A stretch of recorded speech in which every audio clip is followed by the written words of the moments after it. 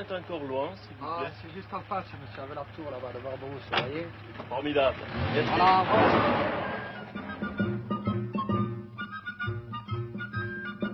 La tour de Barberousse, la voici. À 2 km de la mer, Gruissant. 1200 habitants. Village entouré d'étangs.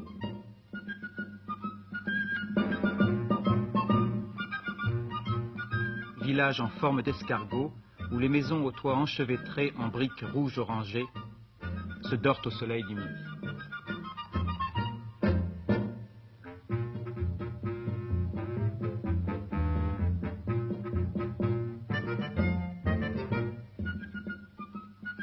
Les Gruissanais se retrouvent dans les rues très tôt le matin pour profiter des heures les plus fraîches de la journée.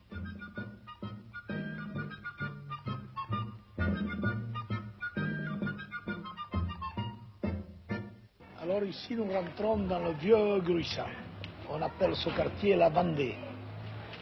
Et Pourquoi la Vendée La Vendée. La Vendée parce que les pêcheurs qui habitaient dans ce quartier, les premiers habitants de Gruissan qui habitaient dans ce quartier, étaient des respecteurs, vous savez, parce qu'à l'époque, il y avait l'archevêque de Narbonne qui percevait des dîmes, qui faisait payer les pêcheurs, et alors ça respectait continuellement. Alors c'était à l'époque des, des Vendéens, et alors on les appelait les Vendéens. Finalement, on a appelé ce quartier la Vendée, ça y est resté. D'ailleurs, on a fait des, en patois des, des- des poèmes, des chansons.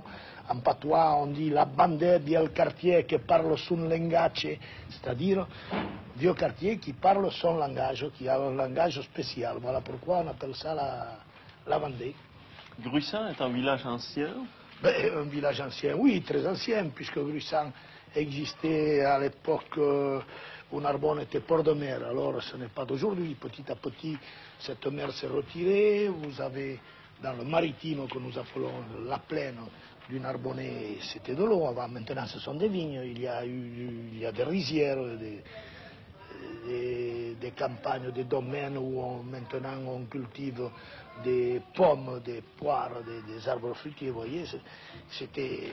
Et alors Gruissan date, existait à cette époque, d'ailleurs la tour Barberousse, on la connaît bien puisque c'était un, un pirate qui par la suite s'est allié ou a servi, a servi à François Ier, il s'était rallié du bon côté, Barberousse, qui s'appelait Jair el-Din, c'était un turc qui a habité la tour avec tout, son harem, dit la légende là.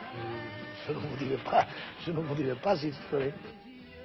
Mais si Gruissant est remarquable par son ancienneté, il l'est aussi par son garde champêtre et son modernisme. Le maire informe ses administrés que l'assistante sociale agricole tiendra une permanence cet après-midi à partir de 14 heures dans une salle de la mairie.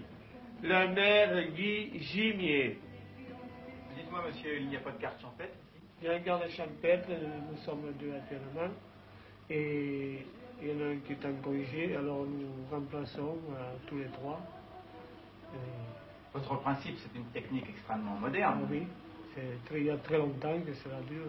Vous avez là-bas, je vois un tableau. Oui. Comment ça se passe là-dessus? Bien, là, vous voyez, le premier secteur, c'est la placette. Deuxième secteur, c'est l'école des filles. Troisième secteur, c'est la Vendée.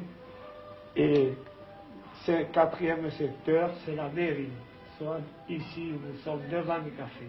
Donc vous touchez toute la population Nous touchons toute la publication en trois minutes ou deux minutes. Ça dépend des publications, si elles sont longues ou courtes.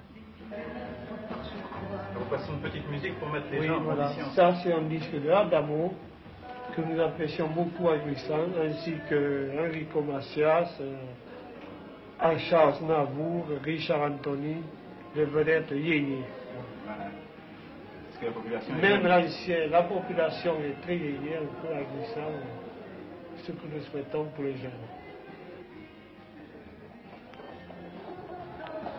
Être yéyé à Gruissant n'exclut pas une forme de vie traditionnelle.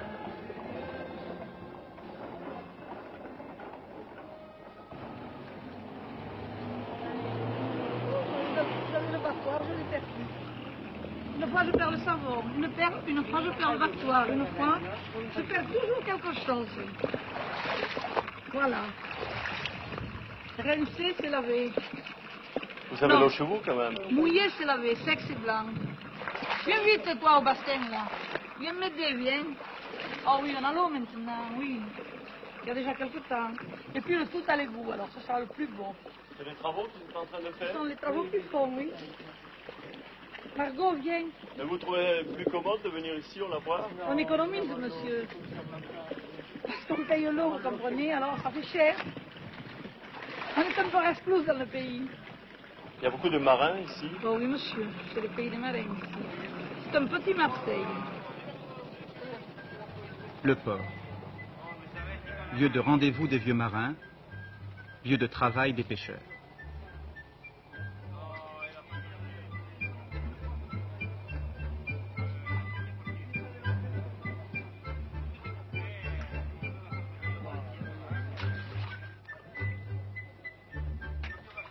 Comme sur toute la Méditerranée, la pêche se fait en mer, mais aussi et surtout à Gruissant, dans les eaux calmes des étangs salés.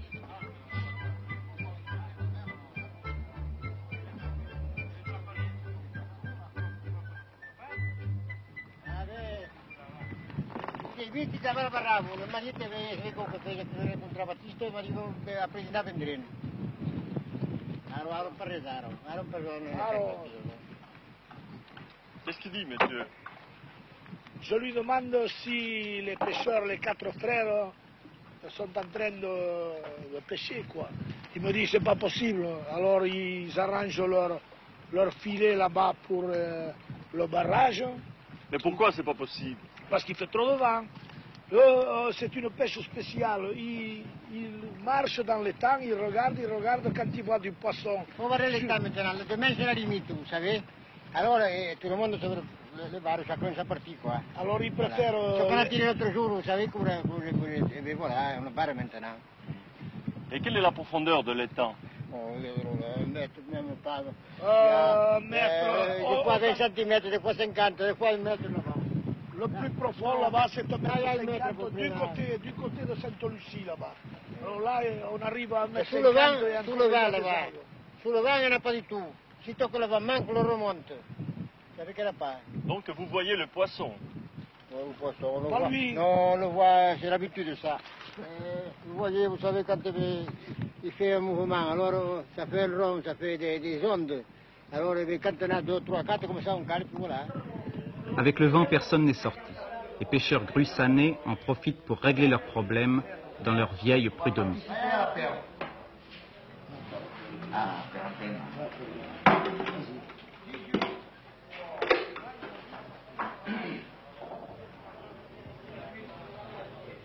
Alexandria.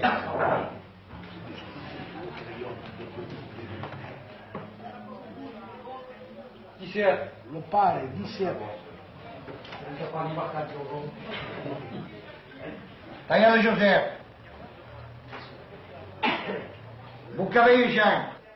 Jean. Les pêcheurs de Gruissant jouent au loto. Et Et là, presque. Qu'est-ce qui se passe là pour l'instant? Deux. Maintenant, ce sont les numéros qui seront attribués aux places de, pour placer les filets. Chacun a son lot, c'est des lots. Les filets où? Les filets dans le temps de les rôles. 14, Gabriel. Billet, Lucien. Vieux Lucien 14. Faut pas, Jimmy me- Esther. faut pas que je me trompe là, autrement il y aurait la, la, la panique, la bagarre. Prima Baptiste, le doyen de l'Assemblée.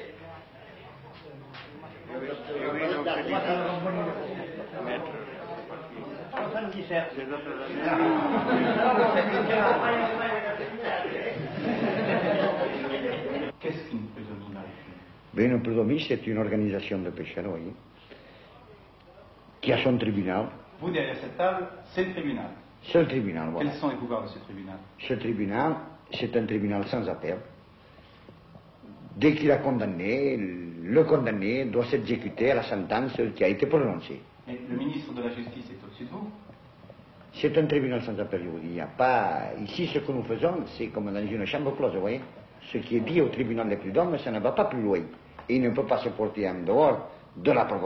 Il est, il est condamné, il doit s'exécuter. Notre tribunal, c'est sûrement un des plus vieux de France, question prédomine. En Méditerranée, sur les bords du bassin méditerranéen, la côte française, les, tous les petits villages de pêcheurs ont un tribunal de prud'homme. Et vous avez une fête, je crois, des pêcheurs. Qu'est-ce que c'est quand c'est? C'est la fête des patrons pêcheurs, bien entendu, et comme notre patron est Saint-Pierre,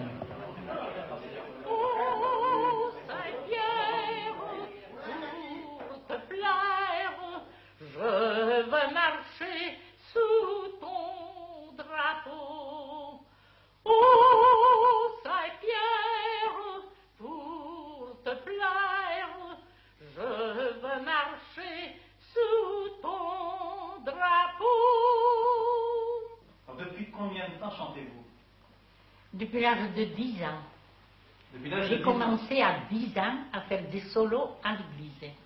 De. À l'école aussi, on me faisait chanter quand il venait l'inspecteur. Où est la petite qui chantait si bien? Et alors, je chantais, je me rappelle, vous n'aurez pas Valzac à l'oreille. On me faisait chanter à l'école, ça. Et dès qu'il a cosa cantare, che vanno del cantarsi, eh, au, au soleil là-bas, à Madame Clément, une fois qu'on dit à toute l'école du monde. oui, le minuit chrétien. Ah, ça fait des souvenirs. Oui, j'avais chanté le minuit chrétien une fois. Madame était une admiratrice. Et monsieur, qu'est-ce que vous faisiez Moi, je le voulais. Je le voulais les vignes, le cheval. Et la vigne, ça a changé? Oui, on n'avait plus. Maintenant, on est trop vieux. Le vin est toujours aussi bon ou moins bon qu'avant? Nous vous le ferons goûter. Le vin, il est moins bon qu'avant ou meilleur Oh, à peu près, c'est pareil. Vous faites du bon meilleur que ça. Propriétaire dans le massif des Corbières veut dire viticulteur. Ici, chacun est propriétaire. C'est pour cela qu'à Gruissant, la cave coopérative est prospère.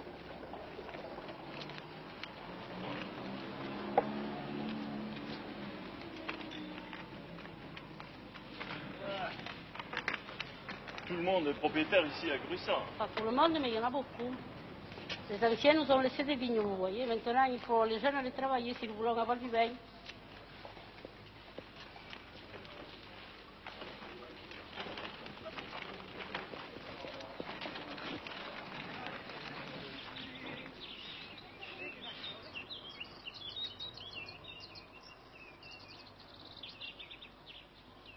Les terres de la commune sont bonnes. Dans le domaine de Saint-Aubre, comme partout ailleurs, on soigne la vigne.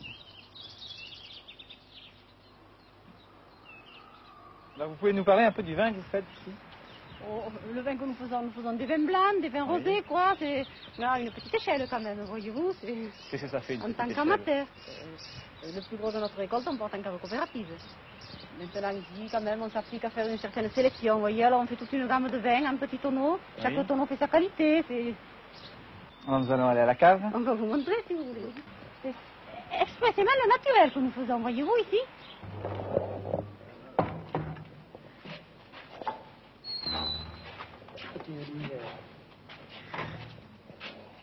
Il fait très frais ici, madame. Oui, ah, et c'est ce qu'il faut pour conserver les vins, vous voyez. Alors là, ça, c'est un vin d'hors d'œuvre qui accompagne le coquillage, le poisson, si vous voulez. Vous avez combien de fûts ici? Oh, je ne sais pas, il y en a 29 ou 30. C'est un vin sucré Oh, pas tellement, c'est plutôt demi-sec. Le vin est bon et bientôt il sera encore meilleur grâce aux recherches du domaine de pêche rouge. Ce sont des apports de sable qui sont faits dans des parcelles euh, pour euh, mettre en, réserve des nouveaux clones qui ont été sélectionnés. Vous voyez, dans le sable, le phylloxéra ne pousse pas, enfin, ne se développe pas, ni également les nématodes, qui sont les deux vecteurs du cournouet, qui est la maladie euh, qui euh, handicape le plus les viticulteurs. Donc, grâce à vous, le vin de Corbière va être meilleur Oui, grâce à nous et en collaboration avec les comités interprofessionnels des vins de Corbière de Mérégeois, nous faisons toute une série d'expérimentations sur des méthodes de vinification, également sur la conservation, la mise en bouteille des vins. Et le vin est bienvenu surtout en plein été, lorsqu'il fait chaud et que l'on travaille dans la réverbération blanche des salines prenons l'eau à la mer. Elle contient à ce moment-là environ 25 grammes de sel par litre. Elle se concentre. Et lorsqu'elle est suffisamment concentrée, nous mettons dans les cristallisoires où le sel se dépose très lentement à la cadence de 1 mm par jour, en moyenne. D'ailleurs, vous voyez les premiers cristaux de l'année qui sont déposés sur le sol. On m'a raconté qu'il n'y a pas encore très longtemps, on ne pouvait pas prendre une bouteille d'eau salée à la mer parce qu'il y avait les douaniers. Eh bien, jusqu'en 1946, les, sels ont été soumis à, l'impôt de la gabelle, c'est-à-dire qu'ils ont percevé à leur départ un impôt qui était au moins aussi important que le prix du sel lui-même. Et je m'en même connu à l'époque, euh, ici, une brigade de douaniers qui surveillait le départ du sel. Ils étaient quatre douaniers et un brigadier. En permanence? En permanence. Et vous savez que l'impôt du sel euh, était très élevé à l'époque, au moment où c'était un privilège royal. D'ailleurs, le mot salaire vient justement de, c'était le, le produit qu'on payait aux ouvriers quand ils travaillaient dans le sel. Souvent, d'ailleurs, c'était du sel qu'on leur donnait parce qu'il se vendait très cher.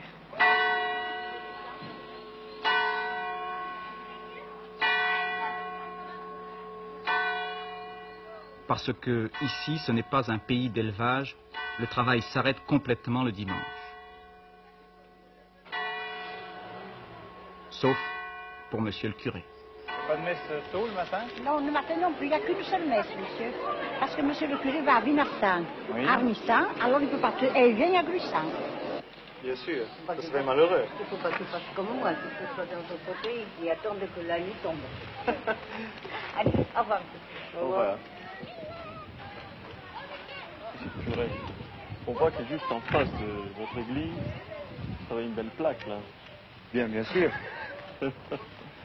C'est gruissant, tout simplement, puisqu'on est très divisé et enfin, on a des positions très précises. Ça n'empêche pas ensuite qu'il y a pas mal d'esprit de famille. Et si à libre pensée, on vient à l'église euh, presque en toute amitié. Maintenant, je crois, peut-être qu'autrefois c'était différent. On nous a parlé du pirate euh, Barberousse. Je ne sais pas pourquoi. Euh, la tour s'appelle Barberousse. Il y, a, il y a certainement quelque chose, mais mais à Grussin, il n'a jamais eu de pirate alors oh, Il n'y a jamais eu de pirate. Je crois... Ça, c'est une autre question. Je crois qu'il y a des pirates, oui. On dit de, de c'est un village de, un village de pirates ou de corsaires. Je crois que c'est pas peut-être un peu la mentalité, mais je crois qu'il n'y a pas de corsaires actuellement ni de pirates. Si, il y a bien, il y a bien des histoires de, de pirates. Par exemple. Eh bien, on dit facilement ici va une sauvade, c'est-à-dire nous, nous l'avons sauvé. Et tout ça, ça, vient du fait que les gens de Gruissant les récupéraient sur la plage, les, épaves, ils les sauvaient. Et actuellement, quand on prend quelque chose, je ne dis pas que ce soit un vol, mais on le sauve facilement. Le chevalier de la barre, le pirate Barberousse, rien n'est conventionnel à Gruissant, pas plus que leur lieu de promenade préféré, le cimetière marin un cimetière vraiment pas comme les autres. Et dans le cimetière, qui est euh, qu'on appelle le cimetière marin, mais depuis une date euh, assez récente, euh, il n'y a pas de, corps de marins, ce sont des monuments, des cénotaphes, élevés à la mémoire des marins disparus en mer. Dégruissonnés pour les, les, trois quarts. On retrouve toujours les, les mêmes noms, les rivales, les rouquettes, les gimiers, Iché, Pastourelle, la Battue. Ce sont des, ce sont des monuments qui sont des monuments du souvenir. Ce sont euh, des cénotaphes. On a dit que Valérie avait, euh, s'était inspiré de ce cimetière marin, mais il avait déjà écrit le cimetière marin, le sien, en, en 1920. Et il est venu ici avec le docteur Giroux en 1935. Et pratiquement, notre cimetière, comme dit Brassin, c'est plus marin que le sien. Sous les fondations de la chapelle de Notre-Dame des Osiles, la grotte de San Salvaire.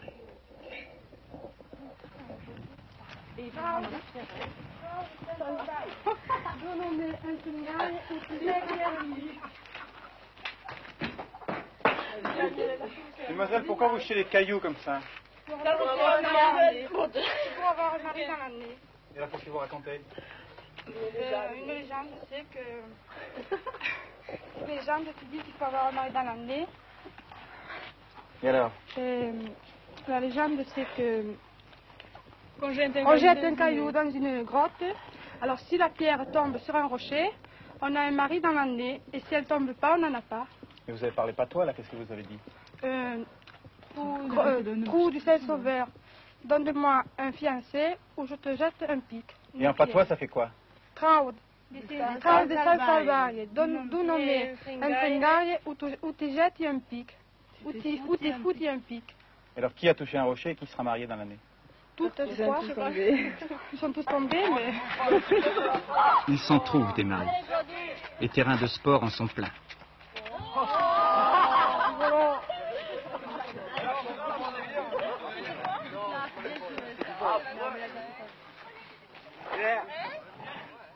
Le rugby n'est pas tout. Le midi ne serait pas le midi sans la bonne vieille pétanque.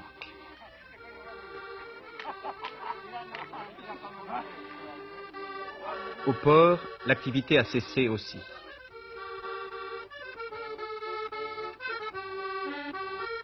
Mais pourtant, quelqu'un veille au grain.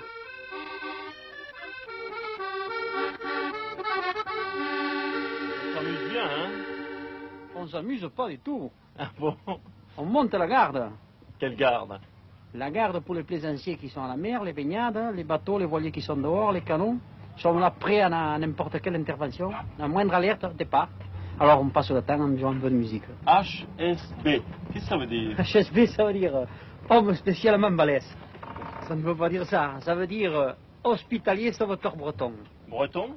Oui, oui. Mais on n'est pas en Bretagne ici. On n'est pas en Bretagne, mais c'est la Société des hospitaliers sauveteurs bretons qui est venue demander à Gruissan si l'on voulait faire une station. Alors nous ici, vous savez, Gruissanais, nous sommes, euh, pareil que les Bretons, nous sommes des marins, nous avons accepté. Mais vous pouvez continuer à jouer en attendant.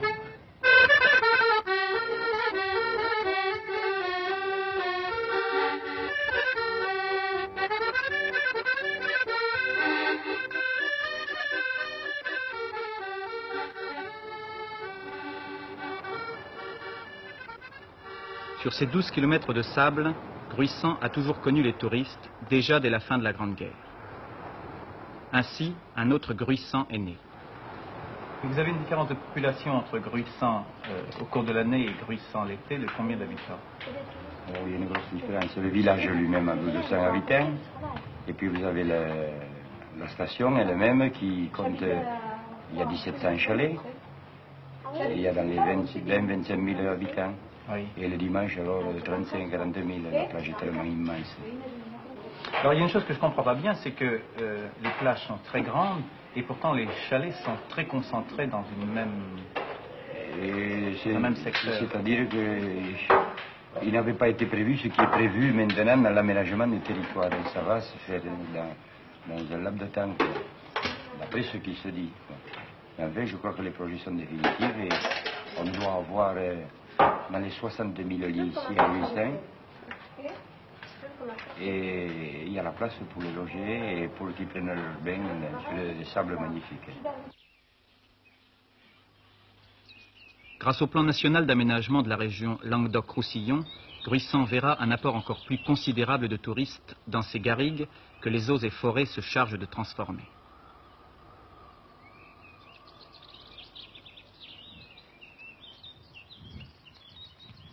Monsieur, pour aller à la pépinière, s'il vous plaît. Mais vous l'avez là derrière moi, à une centaine de mètres. Tout droit, alors. Tout droit, vous ne vous tromperez pas. Et vous, vous entraînez pour le Tour de Eh France bien, Je suis le facteur de campagne.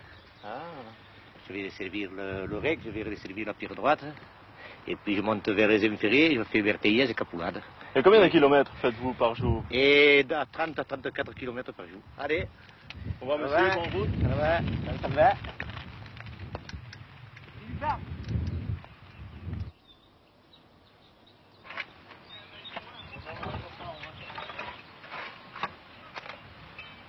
L'opération de repiquage que vous voyez là consiste à faire un trou au centre du sachet et à glisser un jeune plant. Cette pépinière a pour but de produire les plants destinés à cet aménagement du littoral qui touche pour la région Languedoc-Roussillon euh, environ quatre départements, non, quatre départements, le Gard, l'Hérault, les Pyrénées-Orientales et l'Aube, Euh, sur une zone côtière dont la profondeur varie suivant les communes. L'aménagement, ça veut dire le tourisme Euh, oui, Euh, ces forêts qui vont être construites sont à, le sont à des fins touristiques, Euh, nullement à des fins de production de bois ou autre. D'ailleurs, le pays nous le permettait. Planter des arbres n'est pas tout, il faut savoir les préserver. Sur le point culminant, la cabane de la vigie. Sermici 37 à Sermici 3 pour un essai. À vous, parlez. Sermici 3, Sermici 3, on voit 65. Bon, ça va très bien ici, dans le coin, il n'y a rien à dire, ça va, tout est calme. Au revoir, merci. Bien reçu. Bonjour monsieur. Bonjour monsieur. Vous téléphonez à qui avec votre appareil au, au pompier. Parce que de temps en temps, on se met en liaison, voir premièrement si le poste marche, quoi. Hein, et puis c'est bon toujours de les renseigner. Et quel est votre rôle ici si Mon rôle est celui de mon équipe est de surveiller toute, euh, toute la voyez Et vous surveillez quoi? Le feu. Le feu.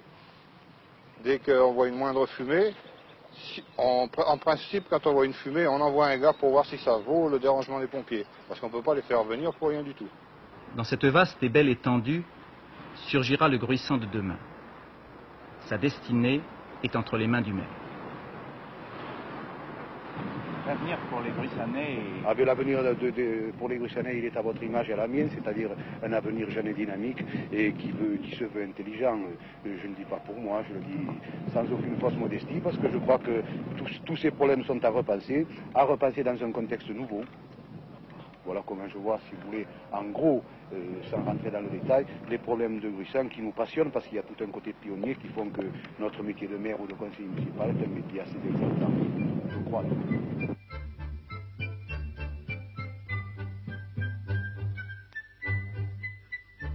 Métier exaltant que de travailler pour Gruissant, village marin inondé de soleil, qui, à toute heure du jour, reflète dans l'eau de ses étangs la tour du légendaire Barberousse.